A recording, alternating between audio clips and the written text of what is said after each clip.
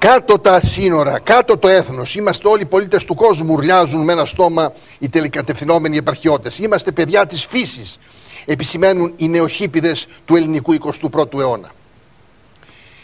Ε, εθνικά προβλήματα δεν υπάρχουν. Είναι αποκύματα της φαντασίας των Ελληναράδων. Δεν υπάρχει Τσαμουριά, Μακεδονία, Θράκη, Αιγαίο, Κύπρος. Οι καλοί αυτοί άνθρωποι ζουν αλλού ε, σε ένα αεροπλάνο που αιωρείται ελεύθερα κάπου μεταξύ Καλιφόρνιας και Σαμπάλα. Δεν υπάρχουν γέροι Έλληνες συνταξιούχοι που φυτοζωούν σχολεία διαπολιτισμικής αμάθειας και εγκληματικότητας. Ελληνικό προλεταριάτο που αντικαθίσταται από Ασιάτες με μηδενική ταξική συνείδηση. Μαφίες ξένων εγκληματιών που τρομοκρατούν τις λαϊκές αστικές περιοχές. Δεν υπάρχουν ούτε ευρωπαϊκά κράτη τα οποία διακηρύσουν τους κινδύνους του πολυπολιτισμού. Δηλαδή η Γαλλία, η Γερμανία, η Δανία, η Ολλανδία, η Αυστρία. Τι είναι χώρες, δεν είναι δημοκρατικές χώρες. Εσείς εδώ είστε πιο ξύπνοι και πιο προοδευτικοί. Όχι, υπάρχει μόνο η θεσπέσια ελληνική, δηλαδή ανθεληνική, αποθρασιμένη από την αφιδός παρεχόμενη ενθάρρυνση νεολαίστικη πρωτοπορία. Τσίπρας. Διότι περί νεολαίας πρόκειται, να είπατε για την νεολαία. Νεολαίας πληγωμένης από τις εθνικές ντροπές που συστηματικά απεργάζονται οι πράκτορες σε ανώτερα κλιμάκια του κράτους. Νεολαίας πληγωμένης από μια πατρίδα για την οποία δεν μπορούν να είναι περήφανοι. Ούτε σε ό,τι αφορά την κοινωνική δικαιοσύνη και στον πολιτισμό.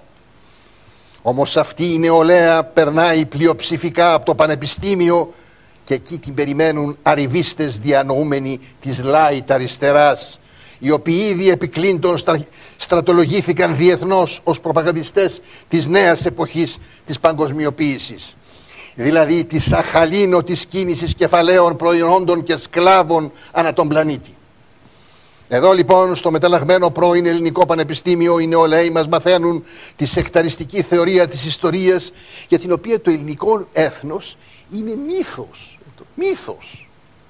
Οι αγωνιστές του εδόξου 21 είναι χείρικες του επάρατου πατριωτισμού. Η αρχαία Ελλάδα σήμαντος, ετερόφωτος πολιτισμός. Η συνέχεια του ελληνισμού από το, ε, του, του, η συνέχεια του ελληνικού γένους ανύπαρκτη.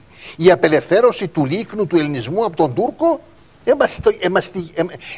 εμοσταγής ε, κατάκτηση. Εμείς κατακτήσαμε εδάφια από τους Τούρκους. Είμαστε κατακτητές εμείς. Λοιπόν, και πάει λέγοντας. Μαθαίνουν επίσης ότι η δημοκρατία δεν είναι κατάκτηση του επαναστατημένου έθνους, αλλά υπόσχεση του μελλοντικού πολιτικού πολυπολιτισμού. Δηλαδή των υπεράριθμων επίκων λαθρομεταναστών, στους οποίους ε,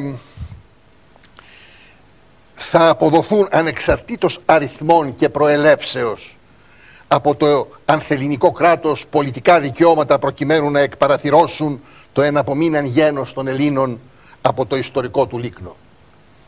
Τέλος μαθαίνουν ότι όποιος αρνείται τις επιστημονικές αυτές αλήθειες που οι ανελίνιστοι αυτόκλητοι διαφωτιστές των πανεπιστημίων εισήγαγαν στην Ελλάδα από την αγγλοσαξονική εσπερία δεν μπορεί να είναι άλλο από πρωτόγονους, από πρωτόγονος εθνικιστής και ρατσιστής όποιος έχει αντίθετη άποψη.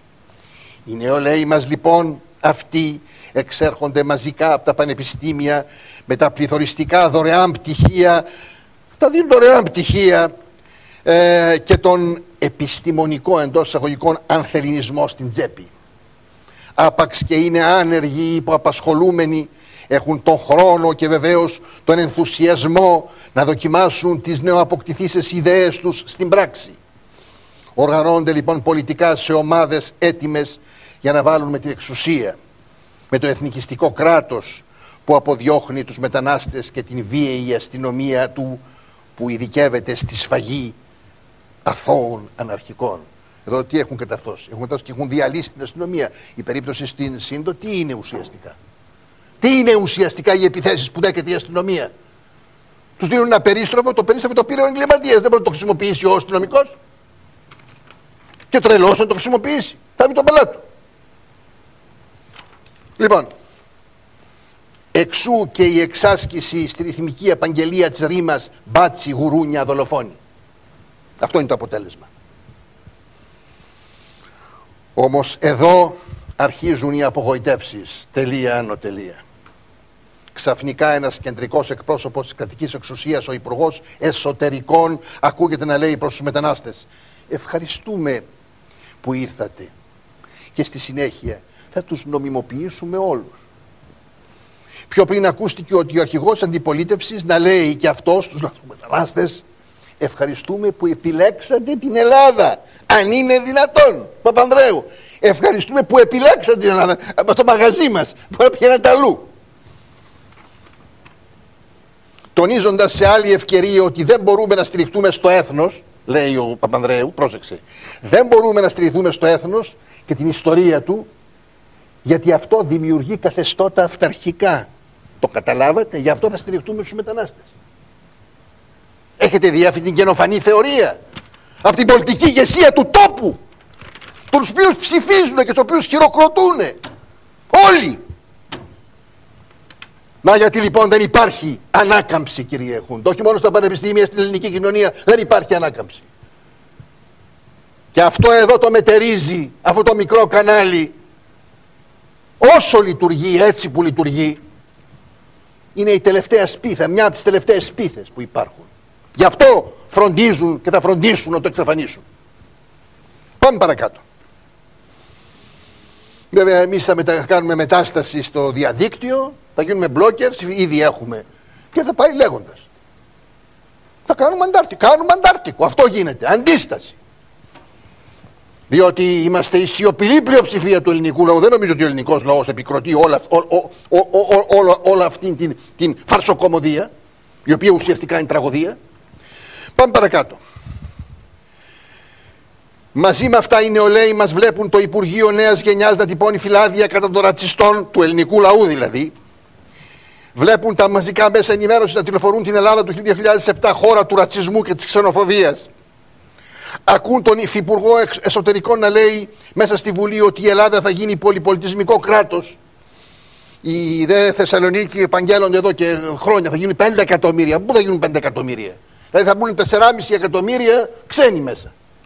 Λοιπόν, ανακαλύπτουν ότι το Υπουργείο Παιδείας λανσάρει στην πρωτοβάθμια και ταυτόχρονα και δευτεροβάθμια εκπαίδευση εκατοντάδες νέα ανθεληνικά και ταυτόχρονα αντιρατσιστικά βιβλία. Βλέπουν την αστυνομία να παρακολουθεί άπρακτη τους κουκουλοφόρους να καίνε την ελληνική σημαία, την ελληνική σημαία να βεβηλώνεται και ανταυτή στην Αλβανική να υψώνεται στο λαιλατημένο Λύκειο Παγκρατίου.